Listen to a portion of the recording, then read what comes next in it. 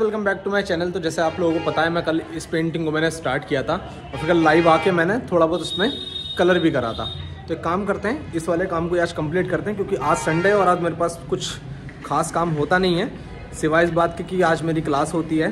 Class तो खैर रात को है, लेकिन हमारे पास अभी टाइम है इस पेंटिंग को करने के लिए। तो चलो स्टार्ट करते हैं। तो एक तो ना ये पेंटिंग बहुत छोटी है, इसलिए मेरे को ना डिटेल करने में बहुत प्रॉब्लम होने वाली है इस पेंटिंग के अंदर। बट फिर भी मैं ना एक बार फिलअप कर देता हूँ। ये जो है फ़र्स्ट टोन लगा रहा हूँ मैं कहीं ना कहीं।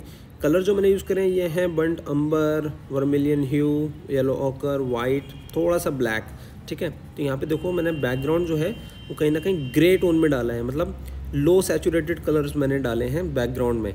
रो सैचुरेटेड कलर्स क्या होते हैं, मैं आगे आने वाली वीडियो में ज़रूर बताऊँगा। लेकिन हाँ उससे क्या होता है, जो फोकस है वो आपकी जो मेन फिगर है, उस पर पड़ता है पूरा का पूरा। तो अभी आप अगर आप जो देख रहे हो ना, ये मैं अभी फिलअप कर रहा हूँ। कोई डिटेल नहीं है इसके अंदर, सिर्फ़ जो टोन्स हैं, बस मैं वहाँ पे वो रखने की कोशिश कर रहा हूँ। एज इट इज़ जो मैं बना रहा हूँ, ठीक है? और मर्जिंग के चक्कर में बहुत ज़्यादा नहीं पढ़ना है, सिर्फ़, हालाँकि मैं थोड़ा सा पढ़ गया था, ठीक है? वो क्या है ना, मेरी एक्रिलिक की आदत है तो ऑयल में एकदम से इम्प्लीमेंट करते करते वो एक हैबिट बन जाती है ना एक्रिलिक करते करते इसीलिए वो थोड़ा सा होता ही है, ठीक है? तो बस यही है। और मैंने ज़्यादा काम नहीं किया बस एक फ़र्स्ट टोन में ही मैंने इस पर जो है काम तो काम करा है। देखो जी कुछ ऐसा सा लग रहा है ये। मैं एक बार पास से दिखाता हूँ रुको।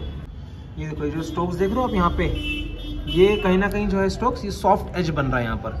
आमतौर पे हम लोग क्या करते हैं बहुत हार्ड कर देते हैं। इस एज को देखो कितना सॉफ्ट है ठीक है? तो ये सारी चीज़ें बहुत ध्यान में रखनी चाहिए हमें। इसी के अंदर आते हैं क्रोमा ह्यू ठीक है? सेचुरेशन ये सारी चीज़ें यहाँ पे बहुत ज़्यादा इम्पोर्टेंस रखती है, ठीक है? अगर हम इस काम का काम का ऐसे देखें तो ये जो मैंने पीछे ग्रे कलर डाला ना, इसको क्या है? इस कलर को ये बाउंस कर रहा है आगे की तरफ़, ठीक है? तो कहीं ना कहीं जो एक थ्री वाला इफ़ेक्ट है ना, वो इससे क्रिएट होता है। लगभग इतना काम कर लिया है और इसके बाद अभी आप ये जो पेंटिंग देख रहे हो ना, इसको पूरा करना है। आज मेरी क्लास है, आठ बजे स्टार्ट हो जाएगी। तो एक काम करते हैं, अभी क्लास के बाद मिलते हैं आपसे। रात के ग्यारह बज रहे हैं और मैंने इस पेंटिंग को कंप्लीट कर लिया है। आज मैंने क्लास में इस पेंटिंग को कंप्लीट कराया देखो, इसमें मैंने दाढ़ी वाला पोर्शन था, इसको बनाया। रुको, मैं इस पेंटिंग को दिखाता हूँ अच्छे से आपको। ये जो दाढ़ी है ना, ये वाला पोर्शन मैंने आज सिखाया अपनी क्लास के अंदर। और ये पेंटिंग जो हमारी कुछ ऐसी से लग रही है। कुछ चीज़ें मैं आपको बताना चाहता हूँ। एक तो ये बातें कभी कॉलेज में नहीं बताई गई। खासकर मैं जिस कॉलेज में पढ़ा हूँ, वहाँ पर इन सब बातों पर इतना ज़्यादा ज़ोर नहीं दिया गया था। कॉलेज जब मेरा ख़त्म हुआ है तो मुझे अब ये बातें पता लगती हैं। और कभी कोई ऐसा लगता है कि अगर ये बात मुझे पहले पता होती तो शायद मैं अपने काम में कुछ और अच्छा कर चुका होता, ठीक है? फ़र्स्ट तो ये कि ऑयल कलर के अंदर तो अगर आप डायरेक्ट लिंसेड ऑयल लेते हो, ठीक है? ऑयल करते टाइम ऑयल कलर करते टाइम तो जो लेयर है ना, वो काफ़ी समय तक जो है गीली रहती है, ठीक है?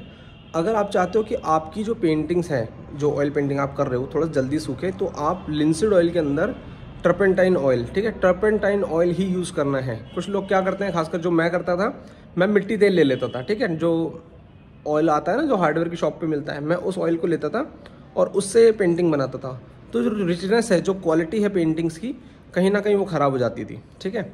तो एक तो ये मत करना। आप टर्पेंटाइन ऑयल लो और लिंसड ऑयल लो, दोनों को सेम क्वांटिटी में मिलाओ और पेंटिंग करते टाइम जब आप ऑयल मिक्स करते हो अपने कलर के अंदर, उसको यूज़ करो। ठीक है?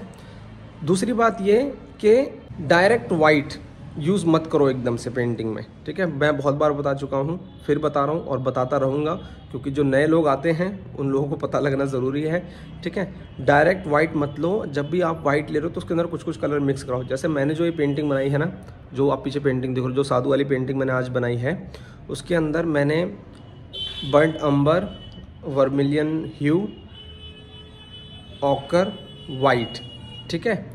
ये तीन चार कलर जो हैं यूज़ करे हैं और कभी भी एकदम डायरेक्ट वाइट मैंने यूज़ नहीं किया है। दाढ़ी को छोड़ के। दाढ़ी में मैंने फिर भी एक बार को डायरेक्ट वाइट लगाया था, बाकी एकदम डायरेक्ट वाइट नहीं लेना है। धीरे धीरे धीरे धीरे प्रोसेस में काम करते करते अच्छा होता है। देखो, एकदम से आप सोचो कि एकदम से कुछ बढ़िया बन जाए तो वो तो नहीं होगा, ठीक है? धीरे धीरे प्रोसेस में रहने के बाद में काम करते करते ही अच्छा होता है, ठीक है? तो इस बात का ध्यान रखना मेरे भाई, और डरने घबराने वाली बात नहीं है।